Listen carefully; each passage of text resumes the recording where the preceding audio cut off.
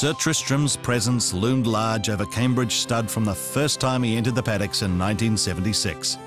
His Irish heritage and feisty nature quickly earned him the nickname Paddy. For much of the next two decades, Sir Tristram was to reign supreme, and not just at Cambridge. With the guidance of Sir Patrick Hogan, this pair was to forever change thoroughbred breeding, marketing, and racing in Australasia. Sir Tristram was bought on pedigree, unseen by the ambitious owner of the fledgling Cambridge stud. Hogan wanted a horse with good breeding and a touch of speed, and that's what he was given in the son of Sir Ivor, an English Derby and 2,000 guineas winner. Yet Sir Tristram's race record was not impressive, just two wins from 19 starts in Europe and the United States. The bloodstock agent asked to check Sir Tristram was also far from convinced about his potential. Then a fire and a well-aimed kick from a mare and the resulting confusion almost ended Sir Tristram's stud career before he reached New Zealand. So Hogan had a horse his agent wouldn't recommend, that he could barely afford, that some fellow shareholders didn't want a part of, and one the staff was scared to handle. Hardly a promising start. Hogan had no option but to put his faith in the feisty stallion who stood for a fee of $1,500. Sir Tristram didn't let him down, producing 37 foals in the first season, a fertility rate of 80%. As three-year-olds, they started to make their mark, and Sir Tristram and Cambridge Stud never looked back. 29 of his first 34 yearlings were sold to Australia, and that's where the black type wins started to roll in. The first Melbourne Cup success came in 1982, when Gurner's Lane made it a double with his Caulfield Cup win. Coming home like a train. Kingston Town joined by Gurner's Lane, and Gurner's Lane gets up to win the cup. A neck to Kingston Town. Sir Tristram was to keep the statisticians busy.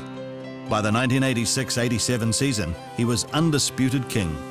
Champion Australian sire, champion Australian sire of two-year-olds, champion New Zealand sire, and the Dewar Stallion Award winner for combined New Zealand and Australian progeny. The next offspring to Sethart's beating at Cambridge Stud was Empire Rose in the 1988 Melbourne Cup.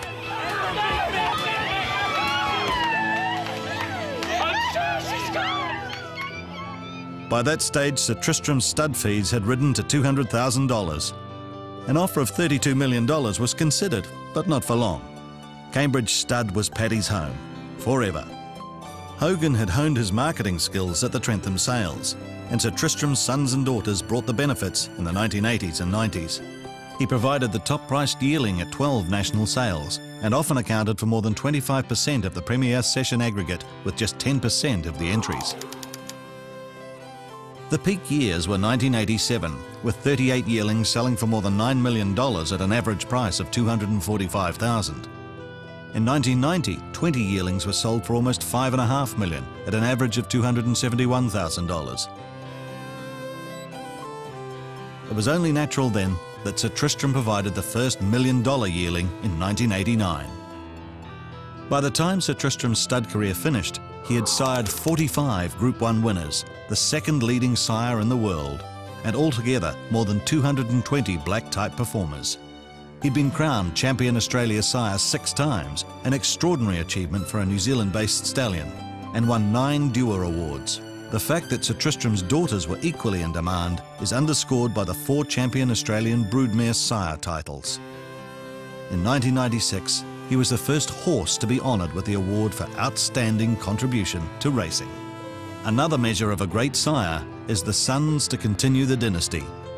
In Zabeel, Sir Patrick was able to replace one super sire with another. The son outshone his brothers and even his father with 11 Dewar Stallion awards by the time of Sir Tristram's induction. For all his temperamental ways, Sir Tristram was still very popular.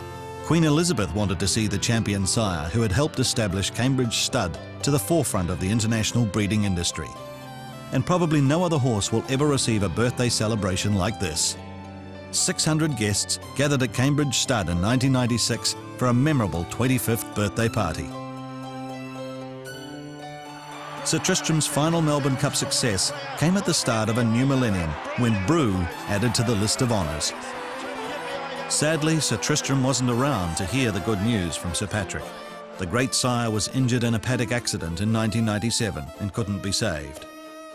The dynasty that he created continues to flourish on racecourses all around the world, and now one of the great sires of the 20th century takes his place alongside his fellow knight in New Zealand's Racing Hall of Fame.